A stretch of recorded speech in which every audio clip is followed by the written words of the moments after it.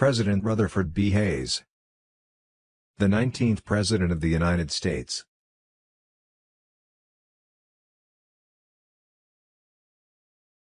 To vote is like the payment of a debt, a duty never to be neglected, if its performance is possible.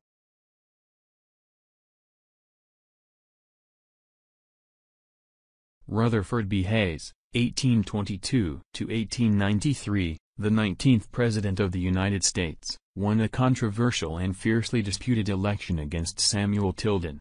He withdrew troops from the Reconstruction states in order to restore local control and goodwill, a decision that many perceived as a betrayal of African Americans in the South. He served a single term, as he had promised in his inaugural address.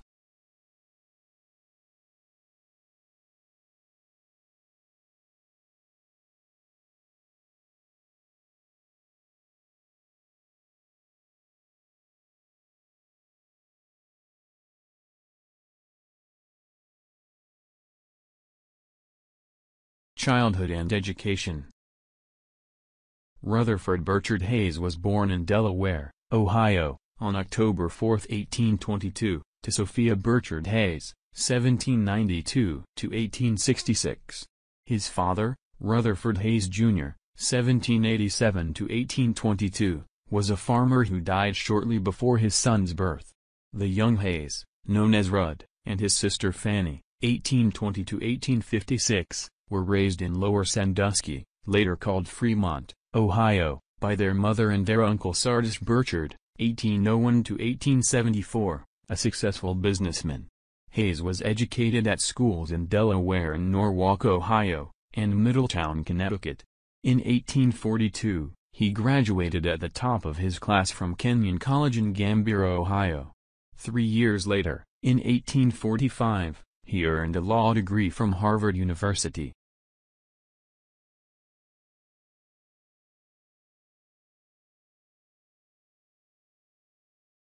Legal career and military service Upon his graduation from Harvard, Hayes was admitted to the Ohio Bar and began practicing law in Lower Sandusky. Hearing that there were greater opportunities in Cincinnati, Hayes moved there in 1849 and eventually developed a successful law practice. An opponent of slavery, he also became active in the newly formed Republican Party, which was organized in the 1850s to oppose the expansion of slavery to U.S. territories. In 1852, Hayes married Lucy Ware Webb, 1831-1889, a graduate of Cincinnati's Wesleyan Women's College, she would be the first presidential wife to graduate from college.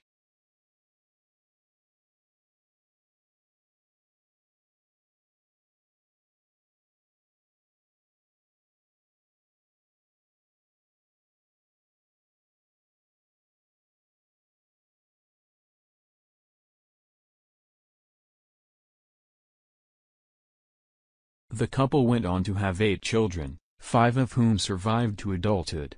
In 1858, the Cincinnati City Council appointed the up-and-coming Rutherford Hayes to fill the position of city solicitor. The following year, he was re-elected to the post, which helped boost his public profile across Ohio. Shortly after the outbreak of the American Civil War in 1861, Hayes signed up to fight for the Union. He became a major in the 23rd Ohio Regiment and was seriously wounded during the Battle of South Mountain in Maryland. By the end of the war, Hayes had been promoted to the rank of brevet major general.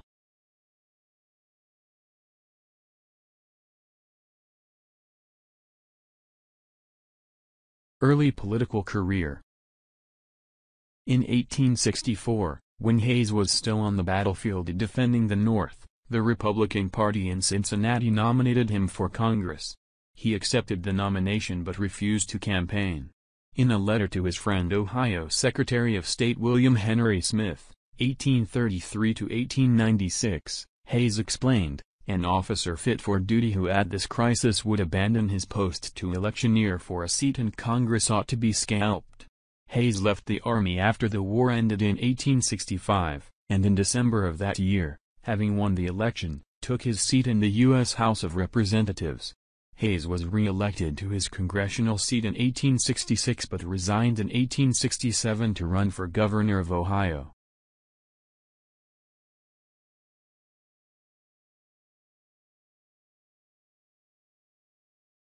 He won the race and was re-elected in 1869.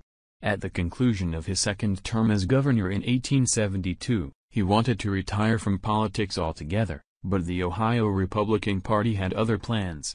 The party nominated Hayes to run for Congress in 1872, a race he lost. At that point, Hayes and his growing family moved from Cincinnati back to Fremont, where he had begun his law career. Hayes practiced law for three years before again receiving his party's nomination for governor. Hayes was elected governor for the third time in 1875 on a platform focused on the procurement of voting rights for blacks and on economic plans calling for a strong gold-backed currency.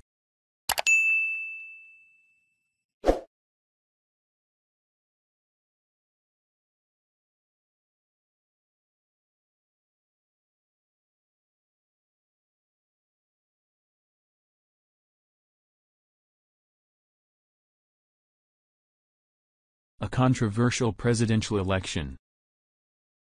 At the Republican National Nominating Convention in 1876, the party was split between one faction who supported a third term for President Ulysses S. Grant, 1822-1885, and another faction who supported the nomination of Speaker of the House James G. Blaine, 1830-1893, of Maine. As a compromise candidate, Hayes earned the party's nomination on the seventh ballot. His reputation for being honest, loyal and inclusive offered a departure from the charges of impropriety in Grant's administration. In the 1876 presidential election between Hayes and Democrat Samuel J. Tilden, the governor of New York, Tilden won the popular vote by approximately 250,000 votes.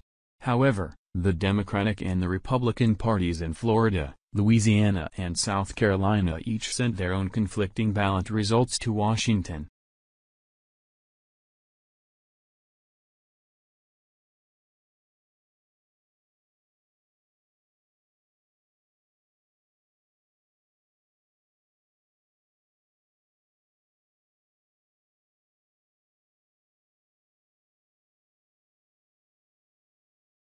Because there were two sets of results from each state with each party's tally declaring its own candidate to be the victor Congress appointed a 15-member commission to determine the winner of each state's electoral votes. The commission, which had a Republican majority, chose to award the disputed electoral votes to Hayes. Southern Democrats agreed to back the decision if the Republicans would recall the federal troops that were supporting Reconstruction. At the urging of the Southern Democrats, the Republicans also agreed to appoint at least one Southerner to Hayes' cabinet. When the commission voted to award all the contested electoral votes to Hayes, he tallied 185 electoral votes to Tilden's 184. Hayes was declared the winner on March 2, 1877. He took the presidential oath of office in a private ceremony at the White House the next day. A public inauguration followed on March 5. Northern Democrats who were unhappy with the outcome declared that Hayes had stolen the election.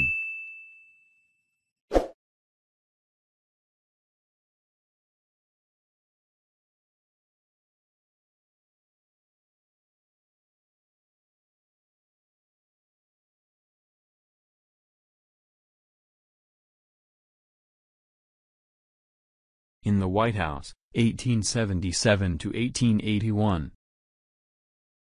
As president, Hayes ended Reconstruction within his first year in office by withdrawing federal troops from states still under occupation. He made federal dollars available for infrastructure improvements in the South and appointed Southerners to influential posts in high-level government positions. While these actions satisfied Southern Democrats, they also antagonized some members of Hayes' own party. The Republicans who had opposed Hayes' candidacy at the party convention were even more frustrated by the president's plans for civil service reform, which focused on ending patronage in favor of appointing civil servants based on merit. Hayes wrangled with U.S. Senator Roscoe Conkling, 1829-1888, of New York, who contested Hayes' call for the resignation of two top bureaucrats in the New York Custom House, including the future 21st U.S. President, Chester Arthur, 1829-1886, who was then collector of the Port of New York. Hayes called for Arthur's resignation in a symbolic attempt to undo Conkling's political patronage. In addition to party politics, Hayes experienced policy difficulties that arose outside Washington.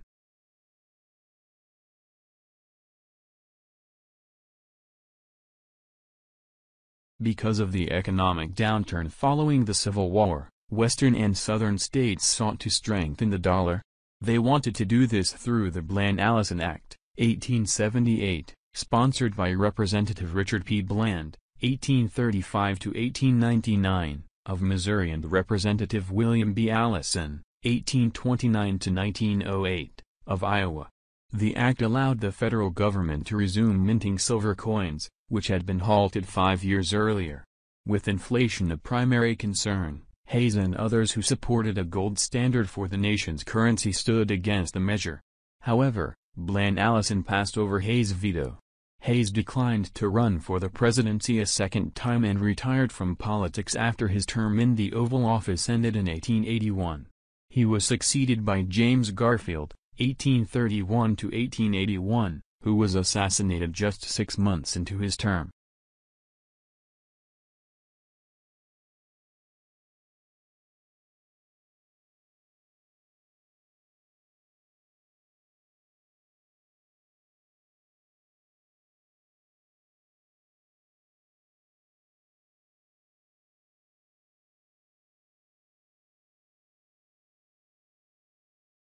Post-presidential years After leaving the White House, Hayes and his wife Lucy returned to their estate, Spiegel Grove, in Fremont, Ohio, and the former president devoted himself to educational issues and prison reform, among other humanitarian causes. In addition to serving as a trustee of three universities Ohio Wesleyan, Western Reserve and Ohio State Hayes also became the first president of the board of the John F. Slater Education Fund for Freedmen in 1882. The Slater Fund was a $1 million endowment to provide Christian education for Southern blacks. Among the fund's notable recipients was the sociologist and civil rights activist W. E. B. Du Bois, 1868-1963.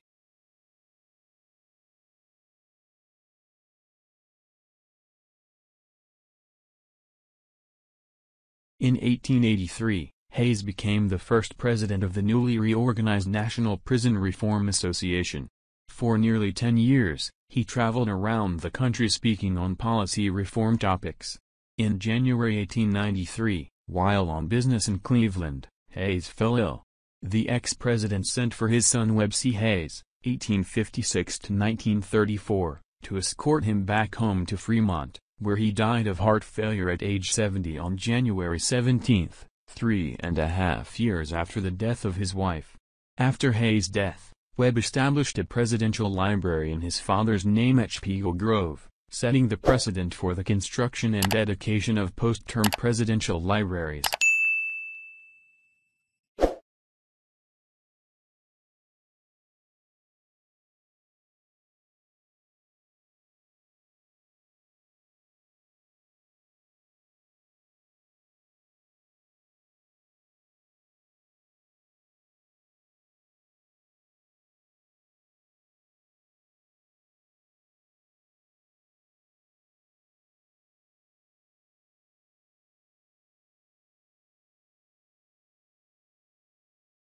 The President of the United States should strive to be always mindful of the fact that he serves his party best who serves his country best.